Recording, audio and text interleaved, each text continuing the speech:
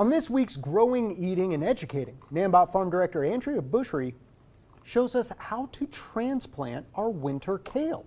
The farm is busy converting all of the high tunnels into the winter crops so that they get a head start in the growing process before the winter months, which we know last a while here, and they really hit us here in northern Michigan, so it's good to get that head start on that.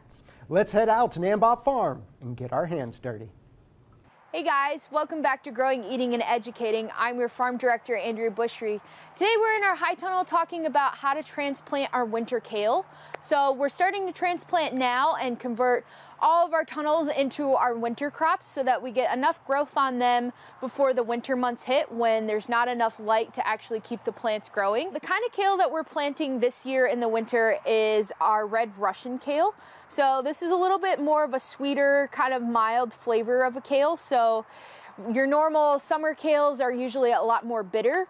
Their plants are also a lot more condensed, which is why I like planting these. They get a little bit more tall and they have a lot more airflow in their plant structure. And the reason I like that is because in the winter, we don't have a lot of airflow in these tunnels because they're all closed up to keep everything warm. And so that means we're more susceptible to different mildews and things like that. So I like this one because it can handle that a little bit better. So the more airflow that we have, the less uh, possibility that we'll have of mildew. When you take your plant out of its packaging, you wanna make sure that you're squeezing the cell a little bit so that you kind of break up the roots a little bit. And then I like to tip it just slightly and start to work that thing out. If you just pull it, you're gonna pull the plant out and then the roots will stay in the soil block. So you wanna make sure that you're kind of massaging the roots out of its cell.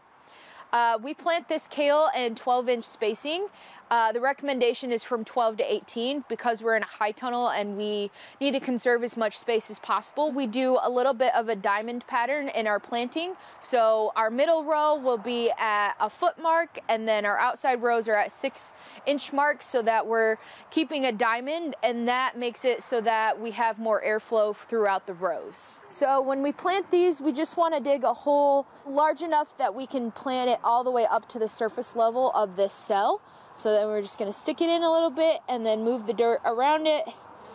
And the idea is that we don't wanna cover up the center of our transplant because otherwise we're cutting off the growth point of our plant. So we wanna make sure that we're just at the surface level of the cell. Once you finish planting your bed, the next thing to do is put drip irrigation on it. So we're almost done with this. We're gonna put our drip irrigation on and run it for about an hour or so. The other thing to make sure you're doing before you start transplanting is you wanna make sure you water those plants in really heavily before you put them into the ground. Uh, what happens a lot of time is if you put your transplants in a dry bed, the soil will actually pull all the moisture out of your transplant cell and then your plants will actually wilt pretty immediately. So you wanna make sure that you soak them really well before you actually plant them to avoid that from happening. For more at NanBop Farm, check us on 9 and 10 News. Thanks, bye.